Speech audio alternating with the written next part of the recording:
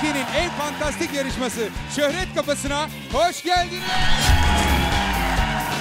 Neler oluyor hayatta Bir de şu rüya gerçek olsa olsa Sabah olup uyanınca Her şeyine aynı kalsa Çiftlerin nişan yüzüklerinin içine yazdırdıkları birbirlerinin isimleri midir, kayınvalideleri midir? İsimleri.